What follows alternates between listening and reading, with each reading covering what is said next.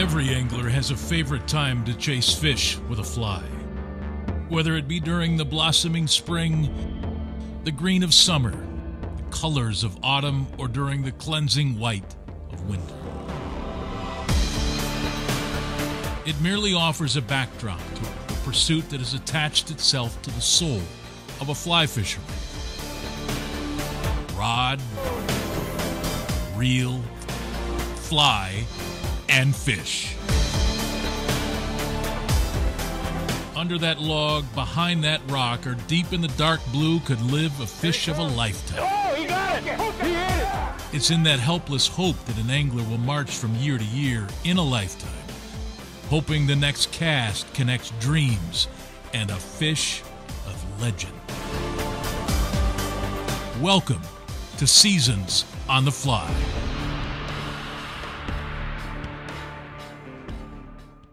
Welcome to Seasons on the Fly. I'm Greg Heister. The peacock bass. It's not even a bass. Oh yeah, he's got Yeah! but it's big, it's powerful, and man, is it beautiful. And it lives here, a place where the birds are striped with vibrant colors, the dolphins are dipped in pink, and the trees are so large and endless, and they are the green of all greens.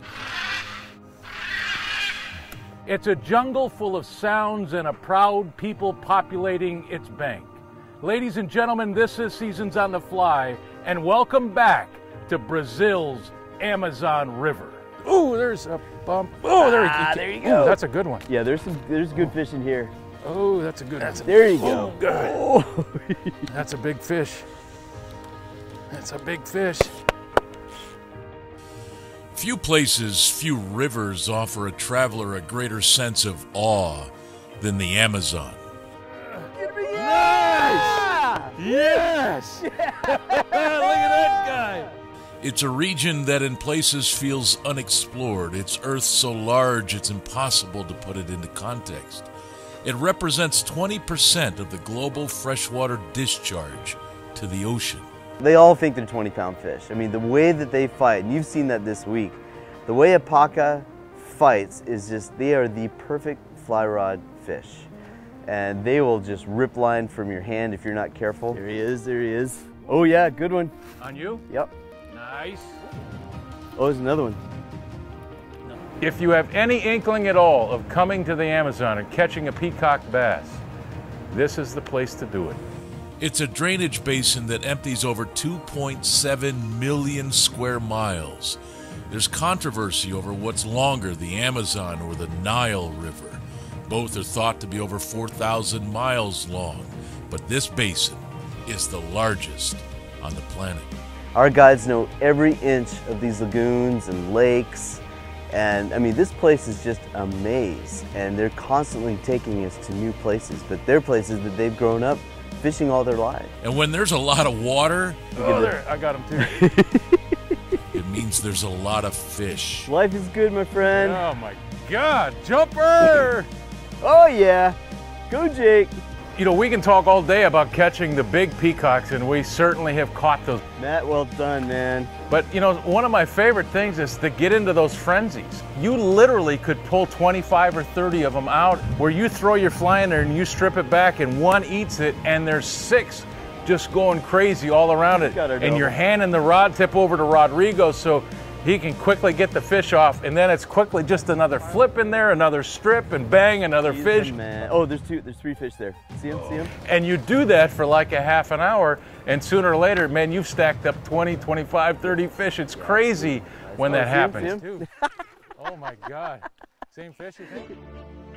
The peacock bass, There you go. Oh, go. There you go. Oh God, that was. it's ferocious. They've been known to wreck tackle, uh, I Oh my God, and this is a butterfly, I think.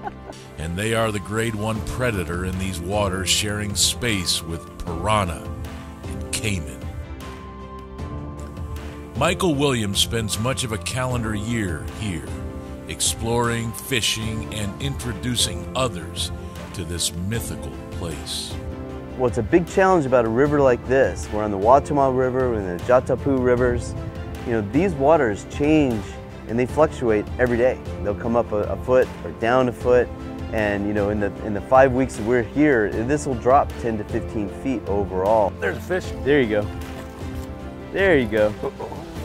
Woo! What you got there? Get out of there. Perfect rod position. You're fighting him well. And what that means is there might be a really big fish in this one spot today, but he's in a completely different place the next day. All of our guys know that knowledge, and they know where to take you to those fish. Well done, Greg. Yeah, he's in the net. Look at that big guy. nice. Oh, there you go. There you go. Nomadic Waters has found a home here, a floating lodge like few others, and an experience that can leave an angler sore after a week of catching endless peacocks. Nice. When Seasons on the Fly continues, a Georgia peach of a guy, the birds of the Amazon, and fishing with a soul. Hi, I'm Greg Heister. To find out the truth about chronic Lyme disease, go to seasonsonthefly.com. Seasons on the Fly is brought to you by Loop. Join the Loop Army and help take North America by storm. And by the Restigouche River Lodge. Come fish the land of the giants. Don't wait to watch Seasons on the Fly on television. Find our YouTube channel or watch us on Vimeo. And you can now download the Seasons on the Fly app and watch us on Apple TV and Roku. It's Seasons on the Fly on your schedule. Hi, I'm Greg Heister. Don't let the Seasons on the Fly experience end when the show does. Go to seasonsonthefly.com to watch all kinds of video, including fly tying demonstrations, full episodes, and you can support the show by buying a hat or a DVD. Your support is greatly appreciated. And you can follow Seasons on the Fly on Facebook, Twitter, and Instagram. Your support is greatly appreciated, and I hope to see you on the water sometime. Seasons on the Fly is brought to you by Yeti Coolers, built for the wild. And by Honda, power when and where you need it.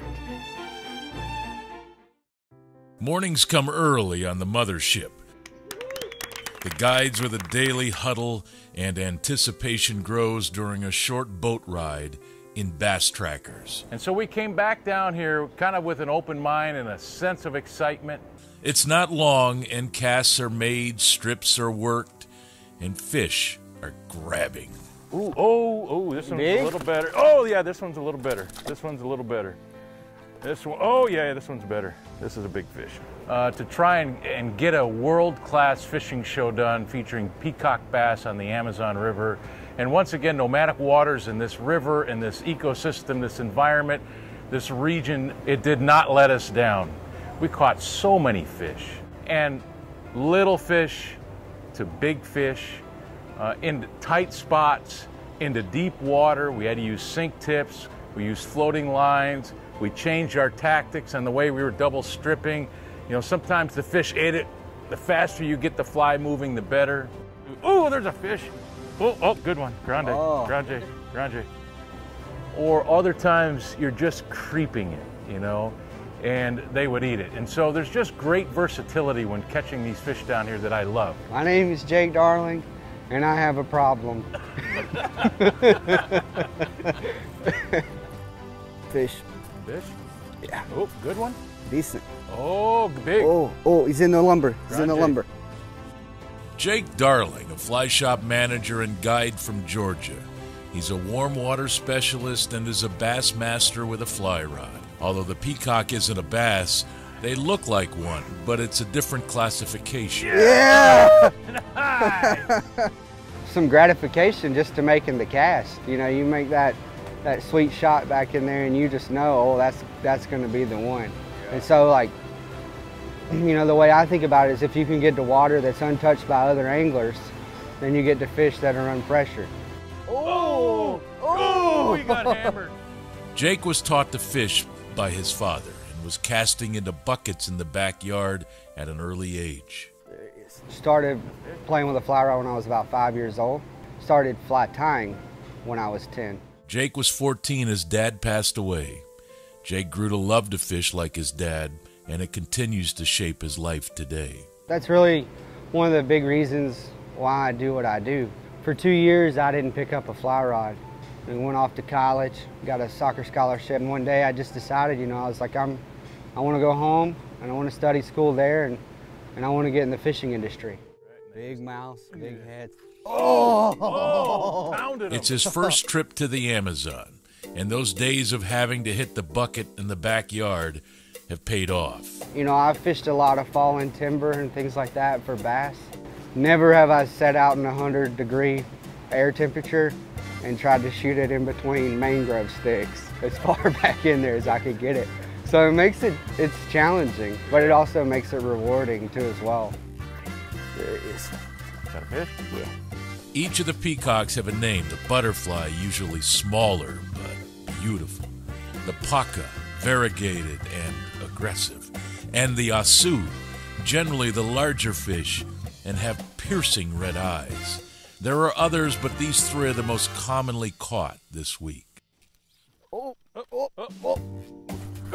there he Oh, oh It's, better one. it's all been been fun. You know, they've, they've all been great. It's oh, it's in the wood. It's just so satisfying to have to work for something that hard. You know, you're working really hard for a few moments of, of sheer terror. You know, and so that's it's cool. Somewhere nearly 2,000 miles from the Atlantic Ocean, dolphins swim in these waters, and some are pink, adding color to this tapestry. Pink because as these dolphins age, their skin becomes transparent, and you can see their blood. And often these mammals will swim under the boat looking for an easy meal. It's the overall experience. You know, as anglers, a lot of times we get caught up in just catching the fish, but to stop and look around and see the birds and the scenery and you know the animals like the pink dolphin and the caiman, it's it's all what makes a really great experience. When Seasons on the Fly continues, from pink dolphins to birds colored like a rainbow, a mothership fit for royalty, and the purpose of nomadic waters.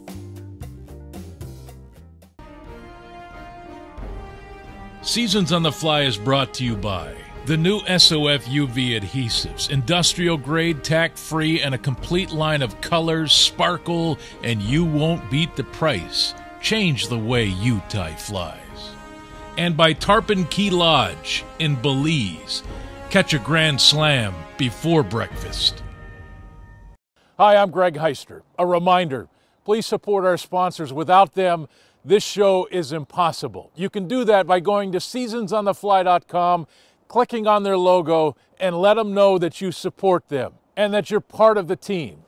Thanks for watching Seasons on the Fly. Seasons on the Fly is brought to you by Northwest, Southwest, Eastern, and American Fly Fishing magazines, the best mags in the business. And by SeasonsOnTheFly.com. Don't let the experience end when the show does. And by the brand new Seasons on the Fly Lodge. The SOF experience continues on Alaska's Kvichak River.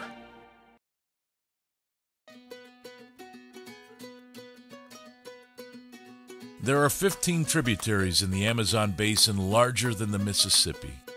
Oh, there's a fish. See? Big fish. Big fish. The mothership of nomadic waters is powering up one of those tribs in search of trophy peacock bass. Nice! It's unbelievable how hard they hit it. He came out of nowhere. The days are filled with top shelf food and the support from an amazing crew. Nightly strategy sessions with the guides allow knowledge to flow as the week progresses. So when the sun rises, it's a new day in the experience. Oh, fish ate it. Hammered it. Right over that dead tree in the water. Oh my God. Ooh, this is a better fish too. Ooh, Grande. Wow.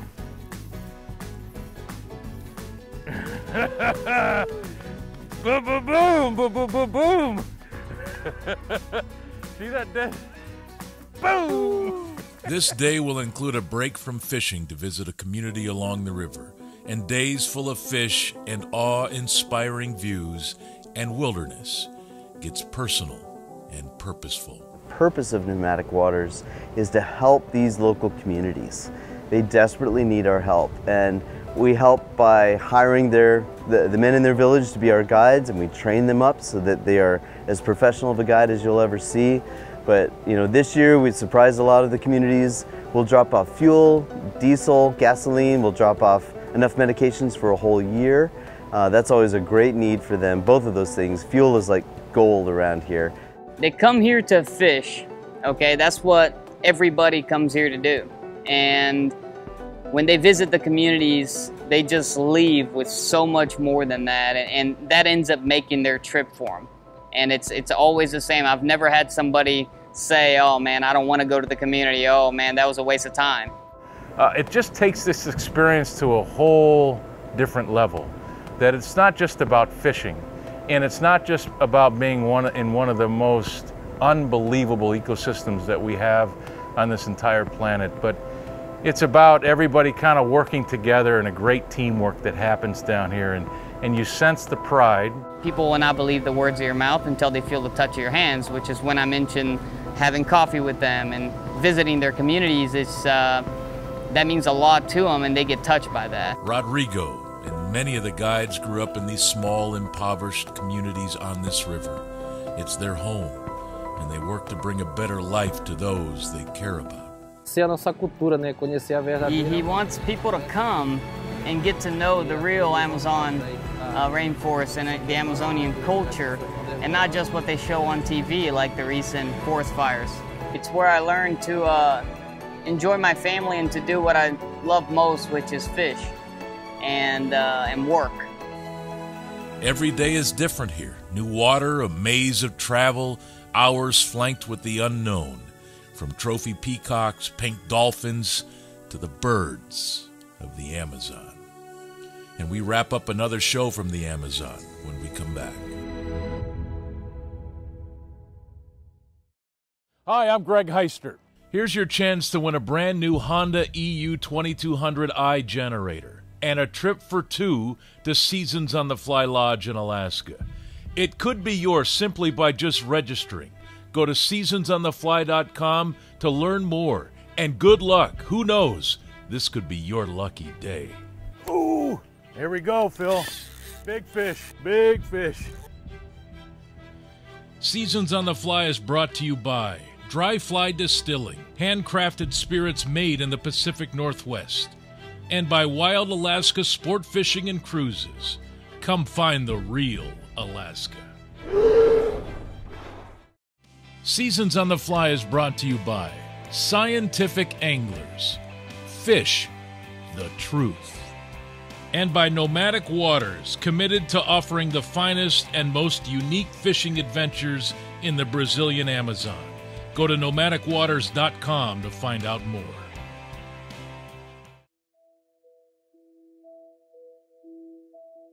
There are no words large enough or dramatic enough to describe the Amazon.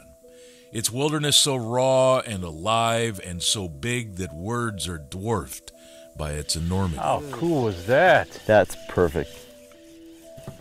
So beautiful. And you'll be sitting there casting a fly, and all of a sudden there'll be this screaming going on, and you'll look up. Here comes a whole flock of scarlet macaws, like bright crimson red scarlet macaws flying right over your boat. This is a, a place that you can come and really lose yourself. It's hard to explore and adventure in this jungle without feeling its importance. It's hard to come here and not leave changed. These fish so colorful, so ferocious, and they are certainly why an angler chooses to come. I'm not so sure when I plan my next trip, they will be the reason that I return. Look at that beast. If landscapes inspire you and culture defines you, then a trip of a lifetime awaits you. I'm Greg Heister, and I'll see you next time on Seasons on the Fly.